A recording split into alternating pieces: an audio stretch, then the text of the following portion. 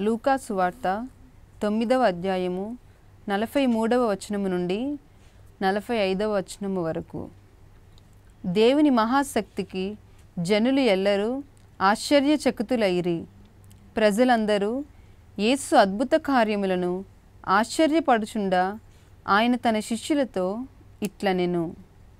చెవి యొగ్గి ఆలకింపుడు మనుష్య కుమారుడు ప్రజల చేతికి అప్పగింపబడపోవుచున్నాడు అని పలికెను. శిష్యులకు ఇది బోధపడలేదు. వారు గ్రహింపకుండునట్లు అది వారికి మరుగు చేయబడెను. కానీ ఆ విషయమై ఆయనను అడుగుటకు వారు భయపడిరి.